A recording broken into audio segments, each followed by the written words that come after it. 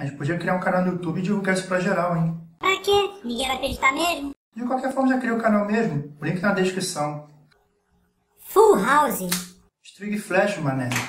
No quarto dia da viagem, o grupo chegou ao seu destino em segurança. Eles vieram sem anunciar a casa de Nazaré, que havia sido ocupada durante mais de três anos por um dos irmãos casado de José, o qual ficou realmente surpreso ao vê-los. Tão em silêncio haviam eles feito tudo que nem a família de José nem a de Maria sabiam, nem mesmo que haviam deixado Alexandria. No dia seguinte, o irmão de José mudou-se com a sua família e, pela primeira vez desde o nascimento de Jesus, Maria estabeleceu-se com a sua pequena família e passou a desfrutar da vida na sua própria casa. Em menos de uma semana, José arranjou trabalho como carpinteiro e eles ficaram extremamente felizes. Jesus estava com cerca de três anos e dois meses de idade na época em que eles voltaram para Nazaré. Ele havia passado muito bem em todas essas viagens, era dono de uma saúde excelente e estava cheio de brincadeiras infantis e de exultação com aquela propriedade onde podia correr e se divertir, mas sentia muita falta da companhia dos seus amigos de Alexandria.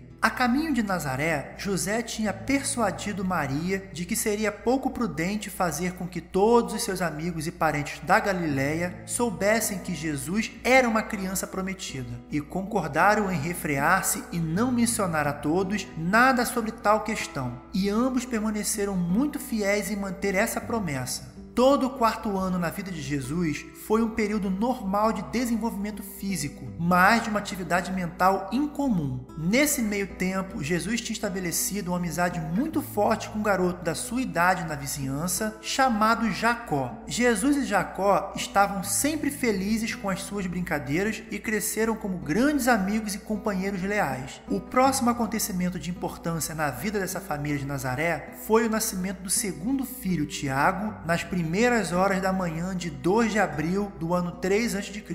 Jesus ficou emocionado com a ideia de ter um irmão bebê e manteve-se por perto todo o tempo só para observar as primeiras atividades do bebê. Em meados do verão desse mesmo ano, José construiu uma pequena oficina perto da fonte da cidade e do ponto de parada das caravanas. Depois disso, fez pouquíssimo trabalho de carpinteiro durante o dia. Ele tinha como sócios dois dos próprios irmãos e vários outros trabalhadores a quem enviava para trabalhar enquanto permanecia na loja, fazendo junta de bois e arados e outros trabalhos em madeira. Eles também faziam algum trabalho em couro, com corda e lona. E Jesus, depois de crescido, quando não estava na escola, dividia o seu tempo igualmente entre ajudar a sua mãe nos afazeres domésticos e observar o seu pai trabalhando na oficina. E nos intervalos, escutava a conversa e os mexericos dos condutores das caravanas e dos passageiros dos quatro cantos da terra. Em julho desse ano, um mês antes de Jesus completar quatro anos, uma epidemia de problemas intestinais graves espalhou-se por toda Nazaré, vinda do contato com os viajantes das caravanas. Maria ficou tão alarmada com o perigo de Jesus ficar exposto a essa epidemia que arrumou as malas de ambos os seus filhos e fugiu para a casa de campo do seu irmão, a muitos quilômetros ao sul de Nazaré, na estrada de Meguido, perto de Saride. E não voltaram a Nazaré durante mais de dois meses meses. Jesus teve muito prazer nessa que foi a sua primeira experiência em uma fazenda.